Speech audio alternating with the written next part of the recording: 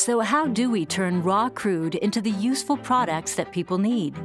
The refining process includes four basic stages distillation, conversion, treating, and blending.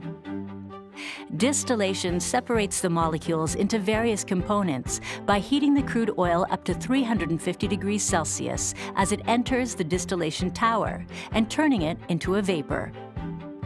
As the vapor rises inside the tower, it cools and condenses into its various molecular components, which are captured and processed into different products such as butane, propane, diesel fuels, and jet fuels. The types of products that are made from the vapor is determined by the raw crude input, time of year, and market demand. Conversion processes some of the heavier components of the crude in the fluid catalytic cracker, or CAT.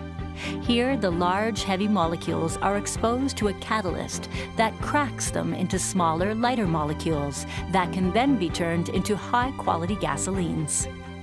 Treating removes natural impurities in crude oil, such as sulfur and nitrogen, which is essential to meet stringent product quality specifications and environmental standards set out by regulators and government.